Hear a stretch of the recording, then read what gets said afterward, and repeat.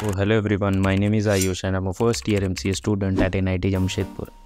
And in this video, I will be telling you about how I got this college and how you can also get these top colleges for your MCA.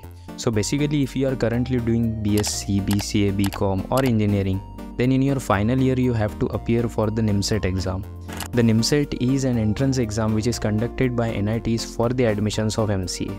But before giving the exam, you should actually check the eligibility criteria to appear for this exam. I will provide the PDF of information brochure of NIMCET 2024 where you can check the eligibility criteria, the exam pattern and the syllabus of this exam.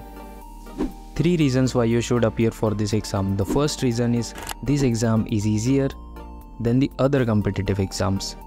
The second reason why you should appear for this exam is there are less number of students appearing for this exam. Like every year, around 25,000 students appear for this NIMCET exam. And the third and the biggest reason why you should appear for this exam is if you do MTech or MSc from top IITs or NITs, the course will be of 2 years. But for placement preparation, you will actually get only 1 year.